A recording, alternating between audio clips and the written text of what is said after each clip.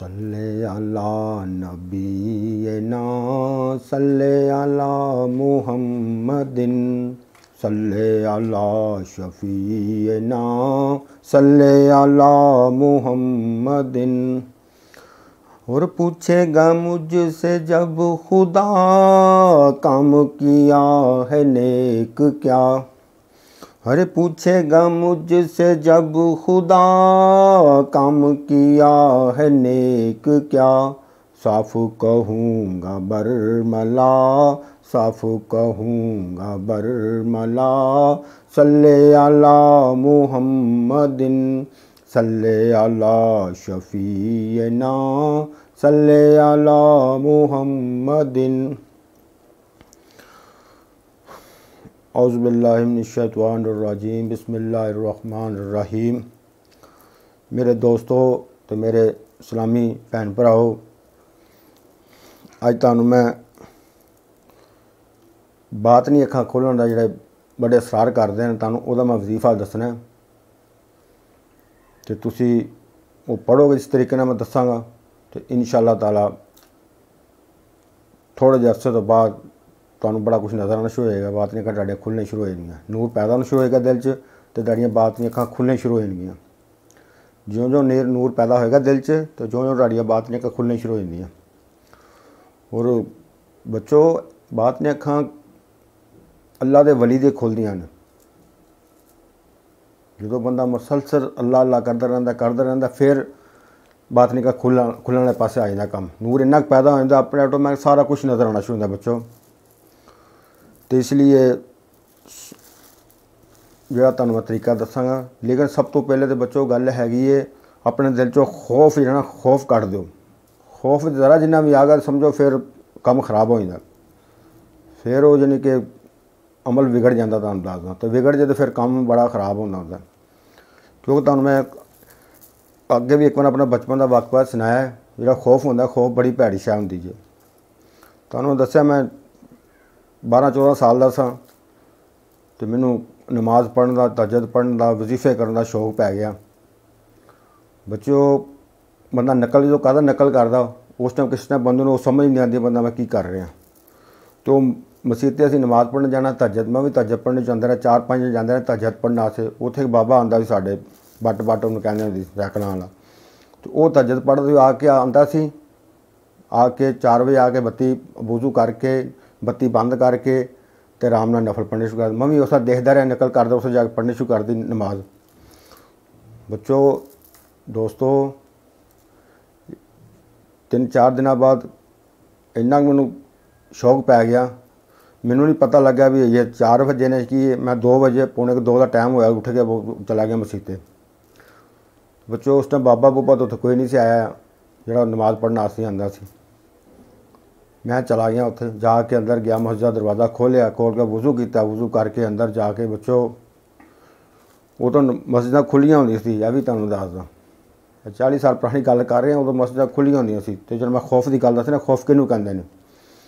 ਲੋ ਬੱਚੋ, ਮੈਂ ਚਲਾ ਗਿਆ, ਅੰਦਰ ਜਾ ਕੇ ਵਜ਼ੂ ਕਰਕੇ, ਉਸ ਤਰ੍ਹਾਂ ਜਿਸ ਤਰ੍ਹਾਂ ਬਾਬਾ ਜਾ ਕੇ ਬੱਤੀ ਬੰਦ ਕਰਦਾ ਸੀ, ਮੈਂ ਵੀ ਉਸ ਤਰ੍ਹਾਂ ਬੱਤੀ ਬੰਦ ਕੀਤੀ ਕਰਕੇ ਨਮਾਜ਼ ਨੀਤੀ ਹੈ, ਦੋ ਨਫਲ ਨਮਾਜ਼ ਤਾਂ ਜਦ ਨੀਤ ਕੇ ਮੈਂ ਅੱਲਾਹ ਅਕਬਰ ਕੀਤਾ ਹੀ ਬੱਚੋ ਬੱਤੀ ਬੰਦ ਕਰਦੇ ਮੇਰੇ ਦਿਲ 'ਚ ਖਿਆਲ ਆ ਗਿਆ, ਖੌਫ ਆ ਗਿਆ, ਮੈਂ ਹਾਂ ਕਿਤੇ ਇੱਥੇ ਤਾਂ ਜਿੰਨੇ ਵੀ ਨਮਾਜ਼ ਪੜ੍ਹਦੇ ਹੁੰਦੇ ਨੇ, ਜਿੰਨ ਨਾ ਤੇ ਨਹੀਂ ਕੋਈ ਯਾਨੀ ਕਿ ਪੜਦਾ ਹੋਏਗਾ ਲੱਗ ਕੇ, ਬਸ ਦਿਨ 'ਚ ਮੈਂ ਸੋਚਿਆ ਹੀ ਆ ਖੌਫ ਥੋੜਾ ਜਿਹਾ ਲਿਆਂਦਾ ਬੱਚੋ। ਮੇਰੇ ਬੱਚੋ, ਸਾਫ਼ ਉਹਨਾਂ ਨੇ ਇਕੱਠੀ ਕਰਕੇ ਨਾ ਮੈਂ ਮਰਾਬ ਦੇ ਵਿੱਚ ਨਾਲ ਖੜੀ ਕੀਤੀ ਦੀ ਸੀ। ਉਦੋਂ ਸਫਾ ਇਕੱਠੀਆਂ ਕਰਕੇ ਨਾ, ਤੇ ਅਸੀਂ ਹੁਣ ਦਰੀਆਂ ਹੁੰਦੀਆਂ, ਪਹਿਲਾਂ ਸਫਾ ਇਕੱਠੀਆਂ ਕਰਕੇ ਖਿਲਾਰ ਦਿੱਤੀਆਂ ਉਹ ਕੀਤੀਆਂ ਤਾਂ ਮੈਨੂੰ ਇੱਕਦਮ ਖਿਆਲ ਗਿਆ ਇੱਕਦਮ। ਮੈਂ ਕਿਹਾ ਕੀ ਖੜਾ ਇੱਥੇ? ਮੈਂ ਕਿਹਾ ਜਿੰਨ ਤੇ ਨਹੀਂ ਕੋਈ ਕਿਤੇ। ਲੋ ਬੱਚੋ, ਮੇਰੇ ਜ਼ਿਹਨ 'ਚ ਖਿਆਲ ਆਉਣ ਦੀ ਢੇਰ ਹੋਈ ਹੈ ਜਿੰਨ ਤੇ ਨਹੀਂ ਕਿਤੇ। ਉਹ ਫਿਰ ਜਿੰਨ ਹੀ ਬਣ ਕੇ ਮੈਨੂੰ ਦਿਖਾਤਾ ਉਹ ਸਾਫ਼ ਕਹਦਾ ਉਹ ਜਿੰਨ ਬਣ ਗਿਆ। ਇਧਰੋਂ ਪੈਰਾਂ ਦੀ ਬਾਤ ਥੜ ਥੜ ਕਰ ਕਰਕੇ ਆਣ ਆਵਾਜ਼ਾਂ ਆਉਣ, ਮੈਨੂੰ ਐਵੇਂ ਲੱਗਾ ਮੇਰੇ ਉੱਤੇ ਚੜ ਗਏ। ਮੈਂ ਤੇ ਬੱਚੋ ਖੌਫ ਖਾ ਗਿਆ। ਖੌਫ ਖਾ ਕੇ ਕੰਬਲ ਲਿਆ ਉੱਤੇ। ਨਫਲ ਨਫਲ ਭੁੱਲ ਗਿਆ, ਤੁਹਾਨੂੰ ਮੈਂ ਦੱਸਦਾ। ਤੇ ਬੱਚੋ ਘਬਰਾ ਕੇ ਉੱਤੇ ਕੰਬਲ ਲਾ ਕੇ ਬਹਿ ਕੇ ਪੜਦਾ ਬਸ ਅੱਲਾ ਅੱਲਾ ਕਰਦਾ ਰਿਹਾ, ਕੰਬੀ ਆ ਰਿਹਾ ਪੜੀ ਜਾ ਰਿਹਾ। ਬੱਚੋ ਪੂਰੇ 2 ਘੰਟਿਆਂ ਬਾਅਦ ਬਾਬਾ ਸਾਈਕਲ ਨਾਲ 4 ਵਜੇ ਆਇਆ, ਉਹ ਆਇਆ ਤੇ ਉਹਨੇ ਬੱਤੀ ਬਾਲੀ ਤੇ ਮੈਂ ਕੰਬਣ ਡਿਆ। ਤੇ ਉਹਨੇ ਮੈਨੂੰ ਬੱਚੋ ਕਿਹਾ, ਬੱਚੇ, ਕੀ ਹੋਇਆ ਤੈਨੂੰ? ਮੈਂ ਬਾਬਾ ਜੀ, ਮੈਂ ਬੱਤੀ ਉਹਨੇ ਬਾਲੀ ਤੇ ਮੈਂ ਦੇਖਿਆ ਉਹ ਸਫ ਖੜੀ ਸੀ ਉੱਥੇ। ਮੈਂ ਬਾਬਾ ਜੀ, ਮੈਨੂੰ ਐਵੇਂ ਲੱਗਾ ਕਿ ਮੈਂ ਜਿੰਨ ਹੈਗਾ, ਇੱਥੇ ਹੈਗਾ ਸੀ। ਤੇ ਮੈਨੂੰ ਇਸ ਤਰ੍ਹਾਂ ਡੇ ਸੀ, ਉੱਤੇ ਚੜਦੇ ਪਏ ਸੀ ਥੜ ਥੜ ਤੇ ਇਸ ਤਰ੍ਹਾਂ ਆਵਾਜ਼ਾਂ ਬੱਚੋ ਉਹਨੇ ਮੈਨੂੰ ਸਮਝਾਇਆ, ਉਹਨੇ ਕਿਹਾ, ਪੁੱਤਰ, ਤੂੰ ਇਹ ਛੋਟਾ ਹੈਗਾ ਹੈ ਤੇ ਕੋਈ ਪੀਰ ਫੜ। ਪੀਰ ਫੜ ਕੇ ਉਸ ਤੋਂ ਬਾਅਦ ਇਹ ਕੰਮ ਕਰੀ ਨਹੀਂ ਹੁੰਦੇ ਨੇ। ਦੋਸਤੋ, ਉਸ ਬਾਬੇ ਦੀ ਮੰਨ ਕੇ ਮੈਂ ਫਿਰ ਪੀਰ ਫੜਿਆ ਤੇ ਕਹਿੰਦੇ ਪਾਣੀ ਪੀਵੋ, ਪੁੰਨ ਕੇ ਤੇ ਪੀਰ ਫੜੋ, ਚੁੰਨ ਕੇ। ਪੀਰ ਫਿਰ ਉਹ ਲੱਭਿਆ, ਅੱਲਾ ਨੇ ਦਿੱਤਾ ਮੈਨੂੰ ਪੀਰ ਕੀ ਆਈ ਬਾਤ। ਹੈ ਲੋ ਬੱਚੋ, ਫਿਰ ਮੈਂ ਪੀਰ ਆਪੇ ਕੋਲ ਗਿਆ। ਖੌਫ ਮੇਰੇ ਉਹਨੇ ਖਤਮ ਕੀਤੇ। ਮੈਂ ਉਸ ਨੂੰ ਬਾਬੇ ਆਪ ਨੂੰ ਜਾ ਕੇ ਦੱਸਿਆ, ਬਾਬੇ ਇਸ ਤਰ੍ਹਾਂ ਮੈਂ ਡਰਿਆ ਸਾਂ। ਉਹਨੇ ਕਿਹਾ, ਪੁੱਤਰ, ਇਹ ਅੰਦਰ ਦਾ ਖੌਫ ਹੁੰਦਾ ਹੈ। ਇਹ ਸਾਰਾ ਅੰਦਰ ਖੌਫ ਹੁੰਦਾ ਬੰਦੇ ਦਾ। ਤੇ ਇਸ ਲਈ ਤੁਹਾਡਾ ਪੀਰ ਜਿਹੜਾ ਖੌਫ ਲਵਾਉਂਦਾ ਬੰਦੇ ਦਾ। ਹਾਂ। ਇੱਕ ਬੱਚੋ, ਤੁਹਾਨੂੰ ਹੋਰ ਮੈਂ ਦੱਸਣਾ ਤੇਰਾ ਕਹਿੰਦੇ ਨਾ ਬਾਤ ਨਹੀਂ ਕਾ ਖੁੱਲ ਗਿਆ ਖੁੱਲ ਗਈਆਂ। ਤੁਹਾਨੂੰ ਮੈਂ ਇੱਕ ਵਾਕਿਆ ਹੋਰ ਸੁਣਾਵਾਂ ਤਾਂ ਕਿ ਤੁਹਾਨੂੰ ਪਤਾ ਲੱਗ ਜੇ। 35 ਸਾਲ ਪਹਿਲੇ ਇੱਕ ਮੇਰਾ ਦੋਸਤ ਬਣਿਆ, ਉਹਨੇ ਜਿੰਨ ਕਾਬੂ ਕੀਤਾ ਦਾ ਸੀ। ਠੀਕ ਜਿਹਨੂੰ ਜਿੰਨ ਕਾਬੂ ਕੀਤਾ ਦਾ ਸੀ। ਤੇ ਉਹ ਮੈਨੂੰ ਮੈਨੂੰ ਕਹਿੰਦਾ, ਯਾਰ, ਤੈਨੂੰ ਮੈਂ ਗੱਲ ਨਾ ਦੱਸਾਂ, ਅਸੀਂ ਰਾਤ ਨੂੰ ਨਮਾਜ਼ ਪੜਨ ਗਏ ਇਸ਼ਾ ਦੀ। ਮੈਂ ਦੱਸੋ।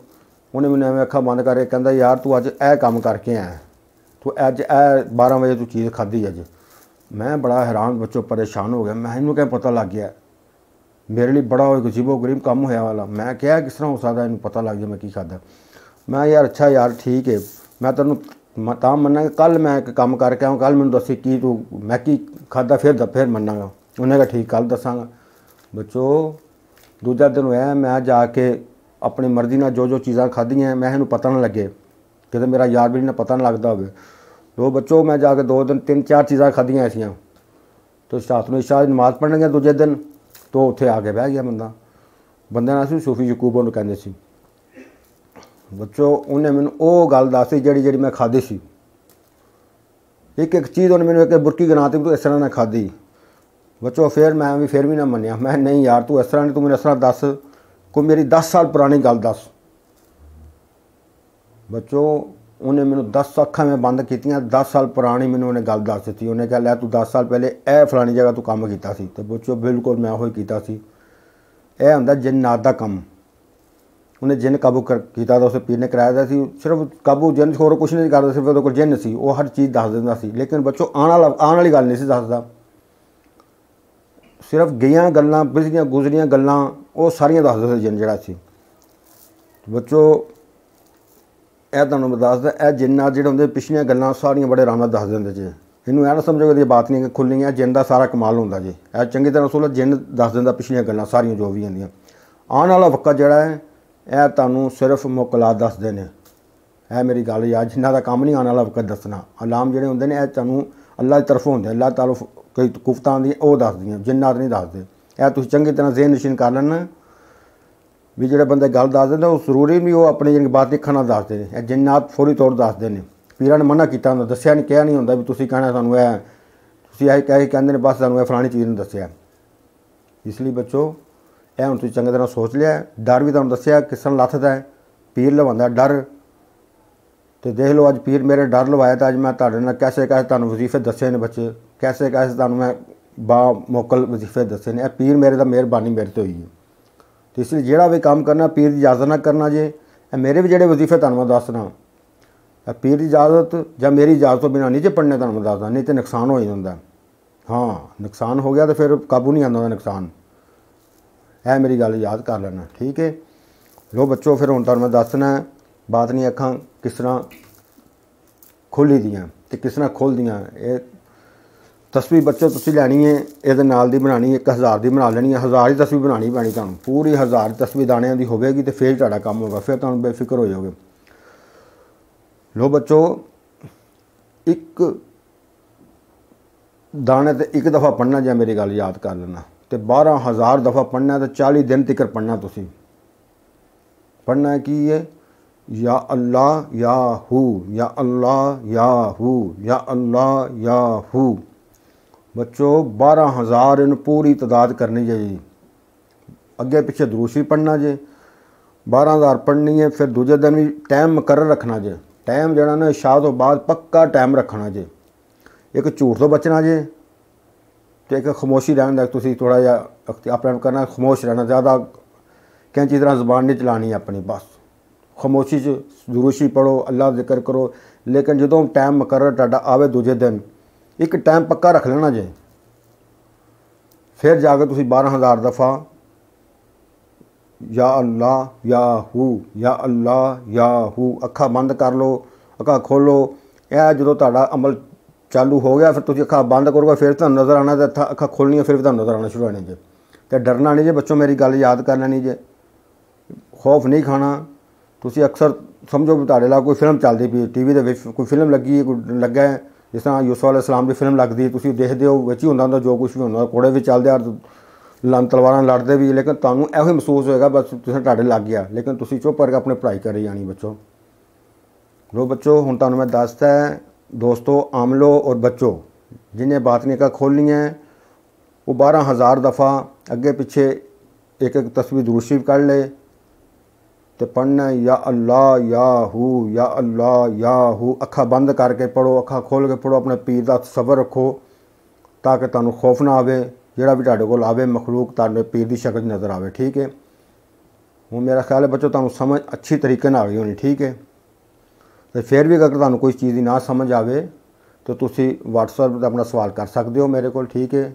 ਵੈਸੇ ਮੇਰਾ ਫੋਨ ਨੰਬਰ 24 ਘੰਟੇ ਚਾਲੂ ਰਹਿੰਦਾ, ਠੀਕ ਹੈ? ਤੁਸੀਂ ਮੇਰੇ ਫੋਨ ਤੇ ਵੀ ਫੋਨ ਕਰ ਸਕਦੇ ਹੋ। ਅਗਰ ਤੁਹਾਨੂੰ ਸਮਝ ਨਾ ਆਵੇ ਤਾਂ ਫਿਰ, ਠੀਕ ਹੈ? ਲੋ ਬੱਚੋ ਫਿਰ ਇਹਨੂੰ ਤੁਸੀਂ ਹੁਣ ਪੜੋ ਤੇ ਆਪਣੀ ਬਾਤ ਨੇ ਅੱਖਾਂ ਖੋਲੋ ਤੇ ਫਿਰ ਬਾਬੇ ਆਬਦ ਨੂੰ ਤੁਸੀਂ ਦੁਆ ਦੋਗੇ ਇਨਸ਼ਾਅੱਲਾ ਤਾਲਾ ਨੇ ਚਾਹਿਆ। ਤੇ ਲੋ ਬੱਚੋ ਫਿਰ ਇਹਨੂੰ ਇਸ ਵੀਡੀਓ ਨੂੰ ਸਬਸਕ੍ਰਾਈਬ ਵੀ ਕਰਨਾ, ਜੇ ਲਾਈਕ ਕਰਨਾ ਸ਼ੇਅਰ ਵੀ ਕਰਨਾ, ਅਗਰ ਤੁਹਾਨੂੰ ਪਿਆਰੀ ਲੱਗੇ ਤਾਂ ਫਿਰ। ਜੇ ਨਹੀਂ ਲੱਗਦੀ ਤਾਂ ਫਿਰ ਬੇਸ਼ੱਕ ਨਾ ਕਰੋ, ਤੁਹਾਡੀ ਮਰਜ਼ੀ ਆਪਣੀ, ਠੀਕ ਹੈ? ਲੋ ਬੱਚੋ ਫਿਰ ਅਸਲਾਮ ਵਾਲੇਕਮ